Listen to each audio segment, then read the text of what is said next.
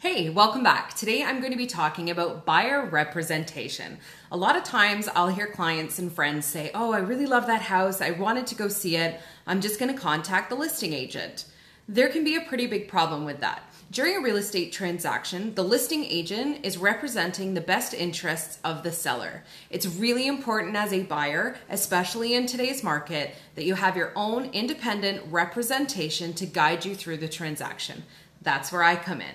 I can help you by providing unbiased information, current market evaluations, recent comparables in the neighborhood, and negotiate on your behalf so that you get the best representation during the process involving one of the biggest financial transactions of your life.